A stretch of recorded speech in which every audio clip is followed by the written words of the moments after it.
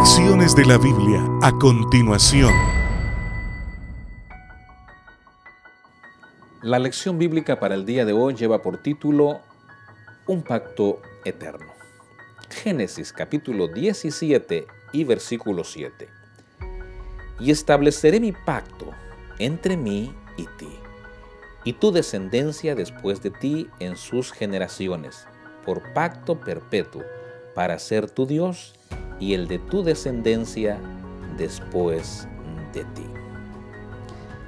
Hemos estado viendo en segmentos anteriores cómo Dios se acercó a Abraham e hizo un pacto con él.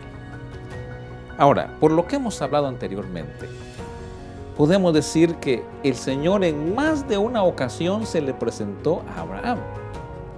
Lo interesante es que se le presentó con diferentes nombres.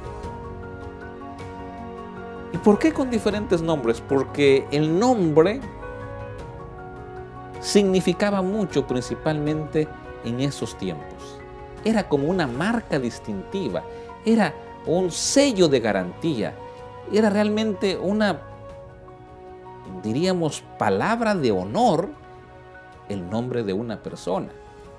Así que cuando alguien quería acreditar realmente quién era, tenía que mencionar su nombre.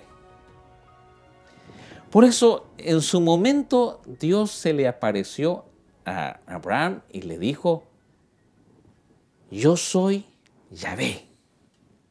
En otras palabras, yo he existido, yo soy eterno, yo tengo vida por sí mismo. Yo soy. Y como yo soy el eterno, entonces yo puedo llevar a cabo mis planes, mis propósitos, mi pacto contigo. En otra ocasión se le presentó como el Shaddai, el Todopoderoso, porque Dios iba a insistir con él al decirle, mira, serás padre de multitudes, pero a esa altura, ya Abraham con 99 años, era imposible. Así que Dios se anticipa a la objeción que se pudo presentar en ese momento para decir, soy todopoderoso. Y si soy todopoderoso, entonces no hay nada imposible de aquí en adelante. Por supuesto, cuando Dios se presenta y le hace la invitación, deja que este personaje, Abraham, tome sus decisiones. Porque en eso consiste la gracia, en eso consiste el amor, en eso consiste la bendición del Señor. En eso consiste el amor de Dios, porque si no fuera esclavitud. Así que Dios le dice, bueno, esta es la invitación, este es mi pacto. Haré de ti una gran nación. Te bendeciré. Debes salir de tu tierra, pero la bendición continuará. Y aquí hay un elemento importante. Abraham tuvo que tomar más de una decisión, pero cada decisión que fue tomando iba mostrando, iba evidenciando. Con esas decisiones declaraba que en realidad él le agradaba hacer la voluntad de Dios. Y él solo se limitó a decir, voy a hacer tu voluntad y el resto queda en ti.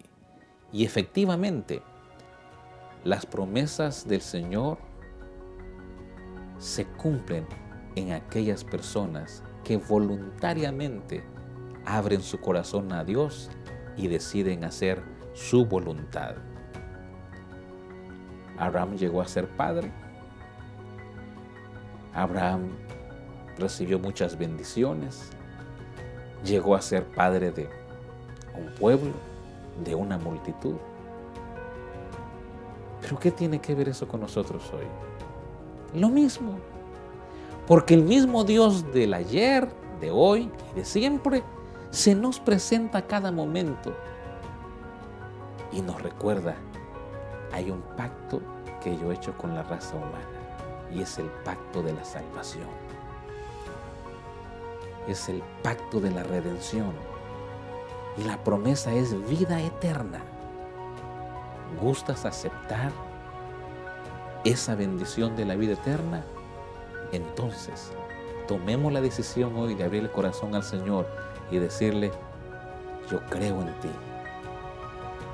Tú eres el eterno, tú eres poderoso, tú eres nuestro Salvador, nuestro proveedor y tú eres el que has prometido vida eterna y yo la quiero.